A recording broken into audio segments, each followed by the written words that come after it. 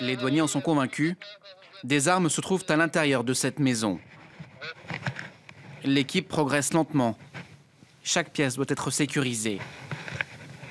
Ces perquisitions sont très risquées.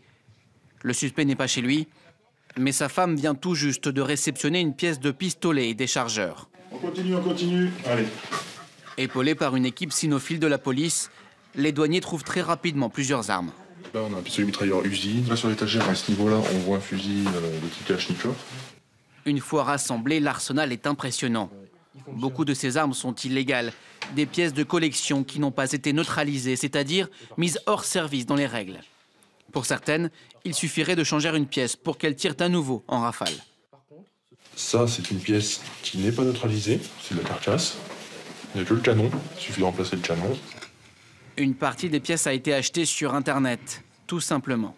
Il y a malheureusement des individus qui n'ont pas conscience que les commandes qu'ils peuvent faire et la revente qu'ils font ensuite tombent dans les mains de, euh, du grand banditisme ou de, euh, de personnes qui souhaiteraient commettre des actes terroristes. Destinées à l'origine aux collectionneurs et au cinéma, ces armes neutralisées à blanc ou remises en état de manière frauduleuse inquiètent les autorités.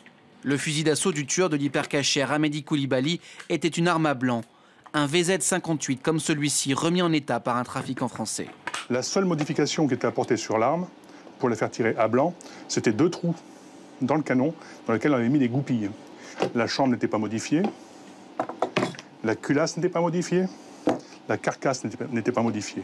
Donc il suffisait de réparer le canon pour pouvoir faire tirer cette arme. Donc c'est ce qui s'est passé. Euh, c'est ce qui s'est passé dans un des attentats récents. Un an et demi avant les attentats de janvier 2015, dans un document, la Commission européenne s'inquiétait déjà. Dans l'Union, les services répressifs sont préoccupés par le fait que des armes neutralisées sont réactivées et que des produits tels que les armes à blanc sont transformés en armes à feu létales. Pourtant, les débats européens sur la lutte contre les marchés parallèles se sont accélérés après des attentats de novembre dernier. Quand une arme est neutralisée, c'est plus une arme, c'est un objet. C'est-à-dire que ça peut circuler euh, n'importe comment euh, dans l'espace européen. C'est vraiment quelque chose qu'on veut renforcer et tracer les armes neutralisées comme des vraies armes en fait.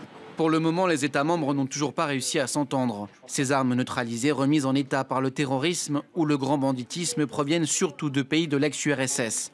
Certains de ces pays font partie aujourd'hui de l'Union européenne, mais les normes en matière de neutralisation sont beaucoup moins strictes qu'en France.